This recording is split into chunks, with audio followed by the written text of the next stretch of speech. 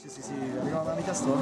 Ja som si verila, išla som do zápasu s tým, že nemám čo stratiť, pretože je to naozaj veľmi dobrá hráčka. Minulý týždeň hrala na BTA v Madride semifinále, takže ja som si chcela len dobre zahrať, ale verila som si a bojovala som stále ďalej a som veľmi rada, že som vyhrala. Zmenila si po tom prvom sete nejakú taktiku, alebo čo začalo fungovať na Američanku?